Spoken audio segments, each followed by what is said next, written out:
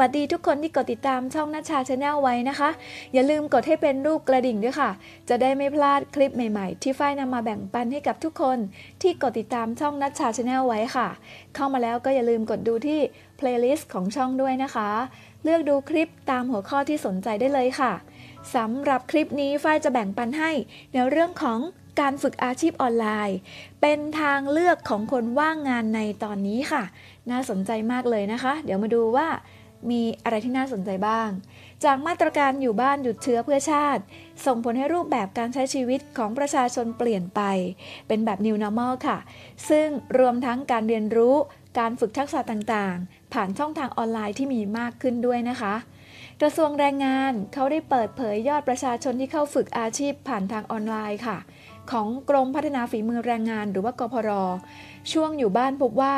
มีผู้เข้าไปสนใจรับชม เป็นจำนวนมากนะคะ รับชมอาชีพฝึกอาชีพต่างๆ อย่างเช่น ภาษาอังกฤษ ช่างเครื่องปรับอากาศ ภาษาเกาหลี ภาษาญี่ปุ่นนะคะ มีเข้าชมหลักหมื่นทีเดียว ส่วนการประกอบอาหารไทย ช่างไฟฟ้าภายในอาคาร ช่างซ่อมรถยนต์ ช่างซ่อมรถจักรยานยนต์ก็เป็นหลักพันนะคะ การตรวจซ่อมโน้ตบุ๊กและไมโครคอมพิวเตอร์ อาชีพอิสระ รวมไปถึงช่างซ่อมโทรทัศน์ด้วยค่ะ ก็เรียกได้ว่ามีหลากหลายสาขาวิชาให้เลือกเรียนนะคะ ปัจจุบันสถานการณ์โรคโควิด มีแนวโน้มดีขึ้นค่ะ สถานกสถานประกอบกิจการหลายแห่ง ก็กำลังเตรียมจะกลับมาเปิดกิจการอีกครั้งนะคะ ซึ่งคาดว่าผู้ถูกเลิกจ้างหรือว่าผู้ว่างงานที่เข้ามาเรียนรู้ ฝึกอาชีพออนไลน์ จะสามารถนำความรู้ที่ได้รับ ไปใช้ในการสมัครงาน และปฏิบัติงานได้เป็นอย่างดีค่ะ สำหรับผู้ที่สนใจ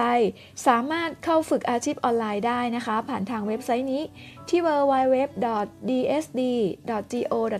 ค่ะ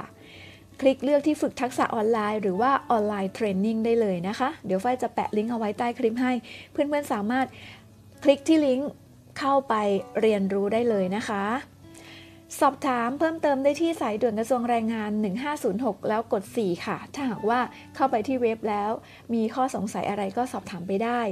หรือสอบถามไปที่กองสื่อสาร องค์กร กรมพัฒนาฝีมือแรงงาน ที่หมายเลข 02 245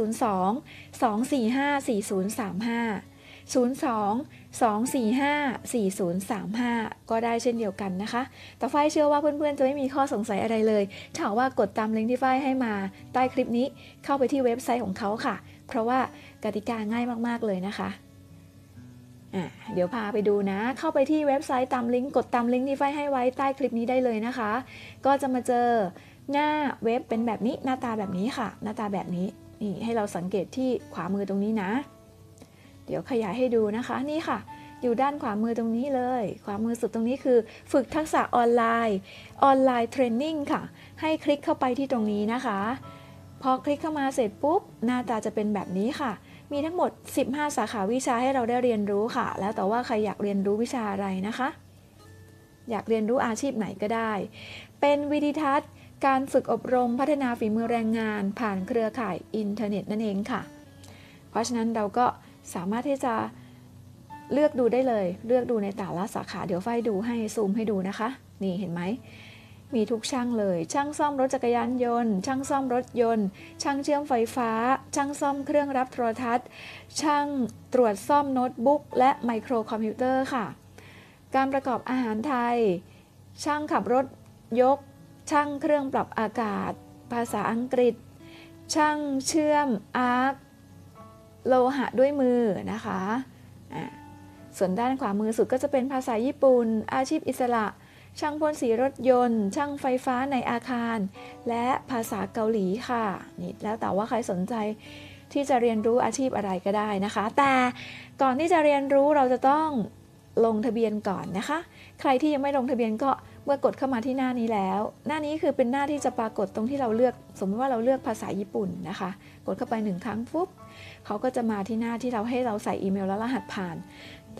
ถ้ามาที่หน้านี้แบบนี้แปลว่าเรายังไม่ได้ลงทะเบียน เพราะฉะนั้นเราก็ต้อง คลิกตรงนี้เพื่อลงทะเบียนก่อนนะคะ ถ้าใครลงทะเบียนแล้วเรียบร้อยก็สามารถใส่อีเมล แล้วก็รหัสผ่านแล้วกดเข้าระบบได้เลยนะ เราไปลงทะเบียนก่อนค่ะ กดคลิกตรงนี้แล้วไปลงทะเบียนง่าย ๆ ไม่กี่ขั้นตอนเองนะคะ รายละเอียดการลงทะเบียนมีเท่านี้ค่ะ ไม่ยุ่งยากนะคะ ให้เรากดเอาให้เราเลือกคำนำหน้าชื่อ